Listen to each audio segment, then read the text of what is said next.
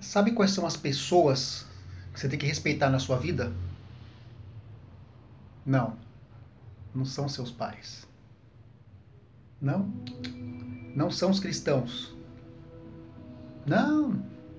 Nem seu marido, nem sua esposa.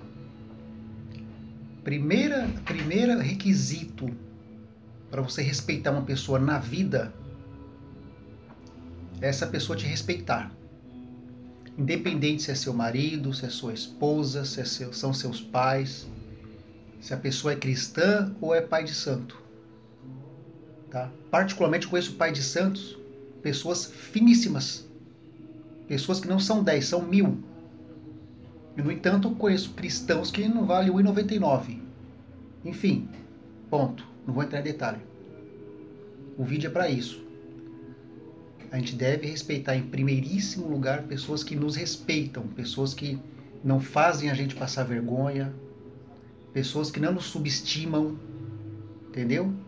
Pessoas que falam, porra, eu conheço a história, independente de conhecer a história, a sua história, é pessoa que respeita você como pessoa. É alguém que te dá a oportunidade de você mostrar o seu caráter, a sua ética. E esse é o primeiro requisito para você respeitar uma pessoa na vida.